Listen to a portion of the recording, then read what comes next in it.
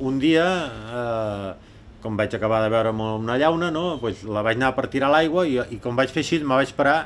i vaig, jo mateix vaig fer molt reflexió, dic, per què la tires a l'aigua si tu mateix l'agafaràs? I ara tu en tires una i l'altre en tira una altra i acabarà tot ple d'això. I a partir d'aquell dia, això, d'això fa 30, uns, calculo uns 30 anys aproximadament. I, i a partir de llavors pues, sempre agafaven qualsevol plàstic d'això. Però mm, dels principis que jo començava a pescar, hi havia la zona que anava a pescar més a la vora de la costa, que anava a pescar per sèpies i rogers i així, doncs eh, amb un marge que hi ha, pescàvem al costat de baix del marge aquest i agafàvem molta brossa, però la brossa eren bastonets i herbes i així que havien baixat amb les riades, que quedaven allà en el fons i les corrents ho, ho apilaven. I agafaven sí, alguna cosa de, de plàstic o un, alguna nina, era una cosa molt típica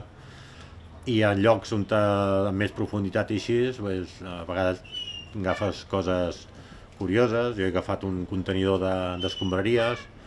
he agafat una bala de palla d'aquestes rectangulars que fan 3 metres de llargada,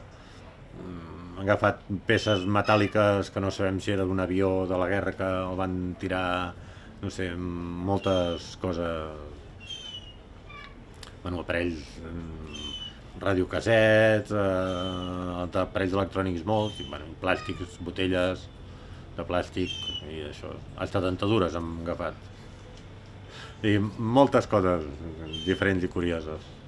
I cada vegada n'hi ha més. Jo crec que arribarà un moment que, que hauran de, de plantejar-se de fer servir algunes barques d'arrossegament per netejar el fons marí on no, es pot, on no poden fer-ho la gent per profunditat. Uh, hi ha zones a Barcelona, a la zona del Besòs i així, que pescadors han tingut que deixar de pescar perquè la xarxa els hi quedava plena de tovalloletes i tinc que, tal com treien la xarxa, directament amb un contenidor llançar-la perquè allò era impossible netejar-ho.